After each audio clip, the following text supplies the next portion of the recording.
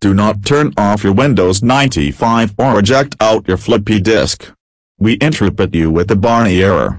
Barney was killed by Dave, but this error is Hardcore. Dave put the bomb in Barney's lair. Since this is hardcore the timer won't be shown. IT also means you only get one chance. And no extra chances.